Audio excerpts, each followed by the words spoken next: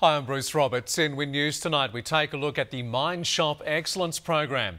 Year 10 students have been involved in a five day work experience program with a number of Ballarat businesses.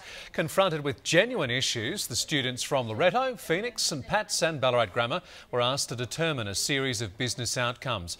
Mindshop facilitators have mentored the groups as they work hand in hand with four organisations to solve real workplace issues. The week culminated with students presenting their final outcomes to their host businesses.